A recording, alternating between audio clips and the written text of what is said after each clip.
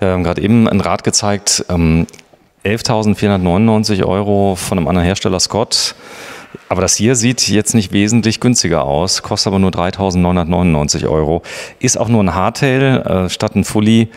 Aber von der Optik her, gehen viele nach der Optik eigentlich, Nico? Ja, durchaus. Also wir haben ja Produkte in einem hochpreisigeren Segment. Das heißt also ein Fahrrad kostet oder ein E-Bike kostet ja durchaus schon mal ab zweieinhalb, dreitausend Euro. Und das ist ja doch viel Geld.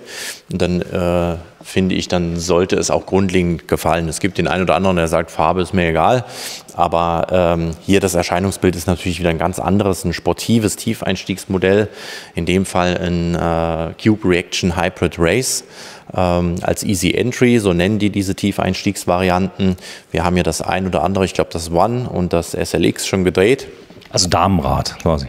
Ja, es ist so gesehen die, die Damenversion äh, streng genommen. Früher gab es ja bei Cube auch die Access-Modelle, die sind ja komplett rausgefallen. Dafür gibt es jetzt diese Varianten. Man hatte auch das ein oder andere Trapezmodell, also klassische Damenform, aber auch das ist komplett verschwunden. Man geht entweder rein auf, das, auf den Diamantrahmen, so wie man das Fahrrad kennt, oder in dem Fall den Tiefeinstieg. Sagt Nico Ockenfels am 21. Oktober 2023, kurz vor unser beider Urlaub, ja, denn wir haben beide Kinder. Ferien sind immer nur einmal und ähm, das ist auch zum Beispiel ein tolles Rad für die Mama und den Papi. Ja, durchaus. Also nur weil es jetzt, sage ich mal, zur Damenserie gehört oder es wird ja auch gar nicht so propagiert, ist es ein Rad, was auch von Männern gefahren wird. Also wir haben den einen oder anderen Mann, der einfach sagt, äh, es ist viel angenehmer, ich kann besser aufsteigen. Ähm, das sind ja die Argumente für einen Tiefeinstieg. Und man muss auch dazu sagen, es ist in sich ein sehr robustes Rad. Wir reden ja immer noch von einem Mountainbike und nicht von einem klassischen Trekkingrad. Das heißt, ich kann damit auch einen Trail fahren oder ähnliches. Dieser Einsatzzweck ist durchaus möglich. Man sieht hier eine schöne Ausstattung. Man muss immer genau hingucken. Also so, ein, so ein Fahrrad ist immer die Summe der Einzelteile. Und es ist nicht nur der Rahmen, der vielleicht ganz gut ist, sondern es fängt schon an bei der Schaltung. Hier ist eine ganz tolle Schaltung montiert, nämlich äh, die, die Schaltung, die irgendwie jeder haben möchte, die Ore XT. Genau, in dem Fall das Schaltwerk. Das heißt also, ähm, das war immer schon bei den Race-Modellen äh, mit äh, ein Baustein äh, auf diesem Kom Komponentenniveau zu sein. Und ähm, ja, es ist halt eine Schaltung, die einfach tadellos funktioniert. Die, es ist die zweithöchste Version, die wir haben. So oben drüber kommt nur noch die XTR. Man muss aber auch so fair sein, dass es sich aber auch rein nur auf das Schaltwerk bezieht. Ne? Das heißt, der Schalthebel ist. Kette oder ähnliches sind, sage ich mal, auf Dioro-Niveau. Und ähm, Nichtsdestotrotz äh, ist das Thema Preis-Leistungs-Verhältnis, wir haben es immer wieder angesprochen, es ist aber auch ja, vielen bekannt, äh, unschlagbar, muss man ganz klar sagen beim Hersteller Cube. Dicker Akku, Bosch-Motor. Der Bosch-Motor ist ähm, ja kaum noch wegzudenken. Es gibt zwar viele Alternativen, aber das, was Bosch jetzt entwickelt hat mit diesem modularen System am Anfang vor zwei Jahren, weißt du, als wir es vorgestellt haben, mhm. war noch nicht so ganz klar, was das soll. Mittlerweile wird immer klarer, was das soll. Das heißt, es kommt immer mehr Komponenten. Unter anderem auch ein Range Extender kann einfach nachgerüstet werden. Am Anfang hieß es, gibt es keinen. Nö. Bosch hat dann gesagt, nö, ähm, wir, wir, lassen das zu und äh, haben zum Beispiel die Ladebuchse bidirektional gemacht. Ja, das ist also auch eine Besonderheit. Die sind schon eigentlich so der Pacemaker, so ein bisschen auch für viele andere, die sich da genau angucken, was macht Bosch, ist das sinnvoll oder nicht, oder? Ja, durchaus. Natürlich sind sie sehr innovativ. Bei manch anderen Sachen brauchen sie aber auch ein bisschen länger. Das ist dann einfach, wo man sich den Markt auch mal anschaut und sondiert und abwägt, ähm, weil das Thema Qualität natürlich eine ganz große Rolle spielt. Also Thema auch großer Akku. Wir haben jetzt hier nicht den ganz großen Akku, wir sehen das ja auch. Ne? Wir haben hier quasi so eine Art äh, Puffer dazwischen oder Distanz. Platzhalter. Platzhalter, ähm, weil das Rad gibt es als 625er Version oder auch als 750er. Entscheidend ist aber, dass sie es schaffen, in einen Tiefeinstieg auch den großen Akku natürlich auch einzubauen. Deswegen wirkt das Rad oder das Unterrohr auch in sich länger. Also man könnte das durchaus kürzer machen, aber dann bekommen wir den 750 Wattstunden Akku nicht verbaut. Sieht aber total schick aus. Man sieht es noch heftiger bei kleinen Rahmengrößen, ne? weil das Rad geht ja runter bis zu einem 16 Zoll, was dann wirklich sehr, sehr niedrig ist, wo auch wirklich sehr kleine Personen. 16 Zoll Reifen.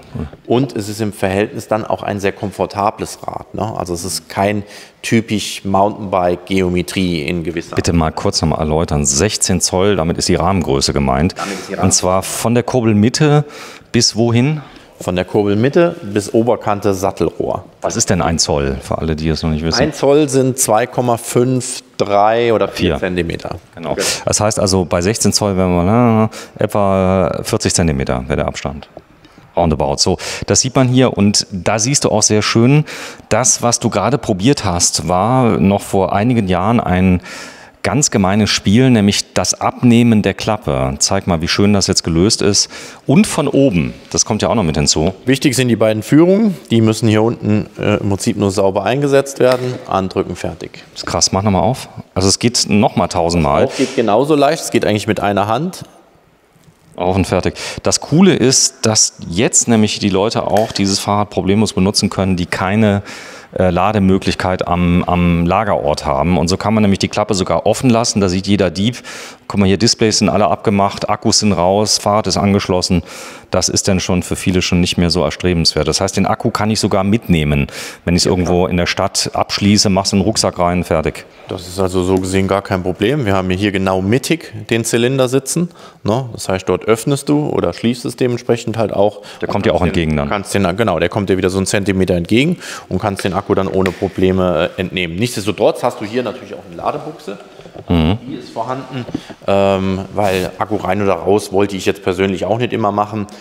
Äh, Thema auch nochmal Motorenantrieb. Ja klar, äh, eines der hochwertigen Räder in der Reaction-Serie hat natürlich auch einen Performance CX-Motor ähm, in der Kombination ähm, mit dem Remote und auch dem Kiox-Display. Überleg mal, wir sind bei 4000 Euro. Das ist äh, schon von der Ausstattung. Nein, wir sind bei 3599 Euro. Echt? Ja, ist, wir sind zu früh dran einfach. Die 5 ist, die 9, die du gelesen hast, ist eine 5.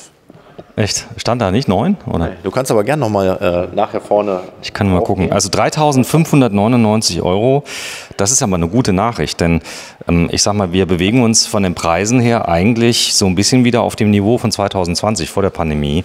Das war ja streckenweise. Ah, noch nicht ganz.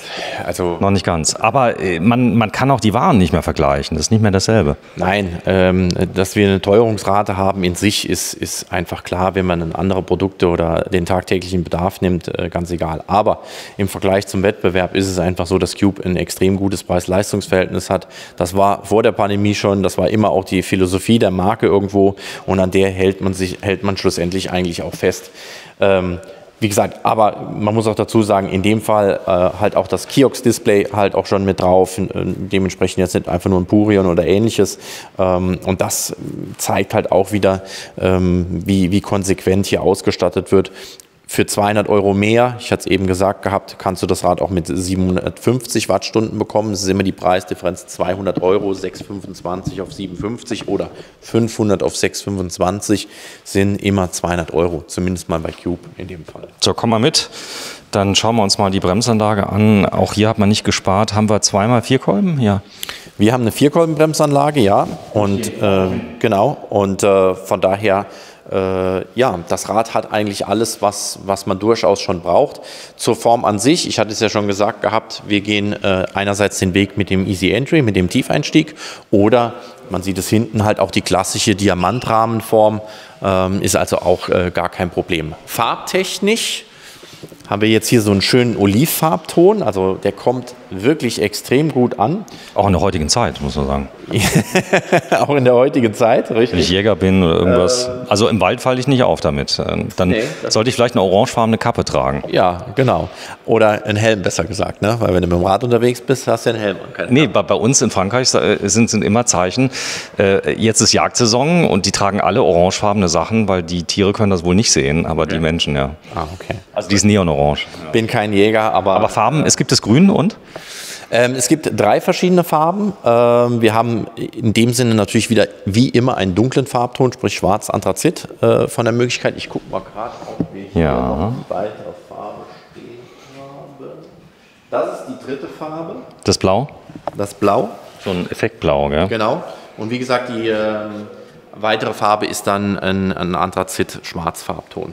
Mhm. So sowas hier ungefähr. Also hier siehst du auch nochmal die klassische Rahmenform. Mal gucken, ob wir das nachher auch mal noch drehen. Mhm. Ähm, also ein bisschen femininer Touch drin. Ich weiß nicht, ob das über das Bild rüberkommt. Es ist immer so aufgebaut, eine dezente Farbe, eine auffällige Farbe, wie wir es dort haben, und dementsprechend eine feminine Farbe. Das sowohl als auch, weil viele Frauen fahren auch ein Oberrohr. Das ist für die gar kein ja, Problem. Weil nämlich auch, auch in diesem Bereich, bei den klassischen Diamantrahmenformen, gehen wir runter bis auf 15 Zoll. Das heißt also auch nochmal ein Zoll kleiner wie hier. So Laufradgröße hier 29 Zoll in dem Fall? Wir haben, nein, ich glaube 27. 27,5. Äh, bei den Varianten gehen, geht äh, Cube einen anderen Weg. Ja, 27,5. 27,5 vorne, also ein sehr wendiges Rad. Zur Rahmengröße müsste ich gerade mal gucken, haben wir hier Rahmengröße L, 20 Zoll. Wir gehen hoch bis 22 Zoll. Also auch für große Personen durchaus kein Problem, hier einen Tiefeinstieg zu finden. Weil da hängt es oftmals, weil natürlich das Verhältnis äh, der Hebelkraft halt auch eine ganz andere wird. So. Nee, das waren nicht die Pillen. Ich wäre normal samstags jetzt aufgestanden, aber der äh, für, für dich mache ich ja alles, ja. Das, äh, aber die Story war ein bisschen anders. Ich war ja in Tunesien, wir konnten nicht drehen und deswegen haben wir den Termin mal kurz nachgeholt. Ist das eine Luftgabel eigentlich? Wir haben eine Luftgabel, glaube ich, mit drin, ja. Ein Luftkabel drin. Genau. Ja, äh, 40er Standrohr, ist das nicht zu groß? Nein, 40 wäre ein bisschen zu groß. Ist es auch nicht. Aber schon e, äh, EMTB ready, das ist natürlich wichtig, weil die Kräfte und die Dimensionen ganz andere sind. Lockout-Funktion von der Gabel aus, das heißt, ich kann die Gabel auch blockieren, steif stellen. Ähm, und natürlich hier auf der anderen Seite die Möglichkeit, den Luftdruck genau anzupassen. Das ist das, auf das Körpergewicht, das sollte genau, man noch tun. Das Körpergewicht, das ist das, was wir vor Ort mit dem Kunden natürlich halt auch machen, das Rad genau auf ihn abstimmen oder ansonsten beim Versandweg äh, halt auch vorab das Gewicht erfragen. Du musst mir einen Gefallen machen, du müsstest mal gerade das Oberrohrmodell nur kurz mal rausziehen, weil äh, das konnte ich gar nicht gut filmen gerade. Das ist einfach nur mal zeigen, es gibt es und ähm, es... Kann ich dir auch sagen, dass wir alle Farben da haben. Du hast alle Farben da. Ähm, das ist ja die femininere Farbe, wobei... Jetzt mal eine Frage, das, das Oberrohrmodell hat wieder andere Farben, korrekt? Das heißt, also hier habe ich ja... Nein, wir haben drei Farben. Drei Farben und das ist... Egal welcher Rahmenform. Ne? Okay, verstanden. Und das ist hier, ich habe es ja gesagt, so ein Grau, Anthrazit, Schwarzfarbton. Also Grau ist es eigentlich mehr, das ist die dritte Farbe.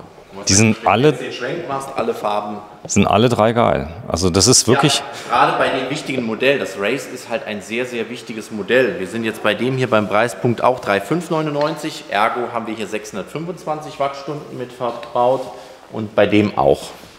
Krass. Also gefallen mir alle gut, aber ich muss ehrlich sagen, die Farbe hier hat es mir am meisten angetan, weil diese Effektlacke, auch wenn du das jetzt siehst, wie das gerade rüberkommt hier in dem Bild, das ist schon mega. Ja, bitte was? Oh, so gerne, Nico. Ja. Und damit sind wir auch schon ja, beim Thema. Doch deinen Wunsch vor deinem Urlaub. Dankeschön, ja, das war noch ein bisschen. Wir sind bei Recycle, diesmal in Riegelsberg. Also nicht wundern, dass ähm, die Luft hier so gut ist, weil wir nicht im ersten Stock drehen und auch nicht bei 40 Grad, sondern wir sind tatsächlich auf einem Luftkurort, würde ich fast sagen. Denn an einem der höchsten Punkte im Saarland, der Riegelsberg, auch. Ähm, der Berg äh, neben dem Schocksberg, der unseren Sender nämlich auch äh, beherbergt. Wenn man hier rausguckt, du kannst also locker hier bis hinten hin bestimmt 50 Kilometer gucken von hier aus.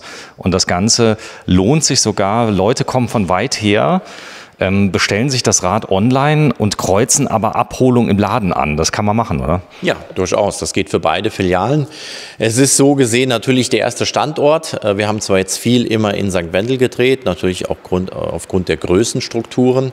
Ähm, wir waren hier wirklich mehr als am Limit. Selbst auch diese Vergrößerung, die wir jetzt hier haben, äh, bringt uns nur ein bisschen Luft und alles. Aber da kommt noch was. Folgt. Da kommt noch was. So, da werden wir sehen. Also ähm, ganze Häuserstraßen werden abgerissen, um äh, das neue Imperium von Nico Ockenfels Platz zu machen. Nein, Spaß beiseite. Es geht ja auch um Ergonomie, Laufwege, Platz, Lagerkapazität und so weiter. Dreh dich mal bitte um.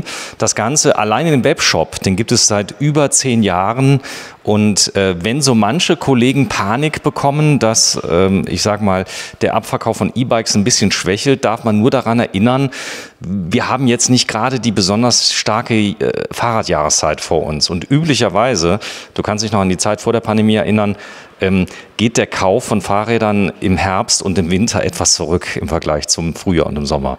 Das ist auch immer noch so, aber es ist nicht mehr so wie früher. Das heißt, wo du wirklich sagst, so eine Art Winterschlaf oder ähnliches und du streichst deinen Laden komplett neu oder ähnliches. Also wir haben schon immer noch, mein, heute haben wir Samstag, äh, eine gute Frequenz. Wir sind selber überrascht darüber. Da geht es jetzt erst so langsam los. Wir haben kurz vor neun. kurz vor neun erst, ja. ja die, genau. die, die Riegelsberger wachen jetzt das auf. Ja, ja Also von daher ähm, können wir uns da nicht beschweren. Wir versuchen natürlich auch alles, um maximal guten Service zu bieten, auch was die Beratung angeht. Wir haben ein sehr beratungsintensives Produkt mit dem Thema Fahrrad, E-Bike, Leasing, alles, was dazugehört, Finanzierung. Und ähm, das ist das, was wir können und das, was wir auch jeden Tag leben. Nico Ockenfels einmal in Riegelsberg, Ortsausgang Heusweiler, Nähe Kaufland und einmal in St. Wendel neben der Shell. Tankstelle. Shell-Tankstelle. Tschüss. Ciao.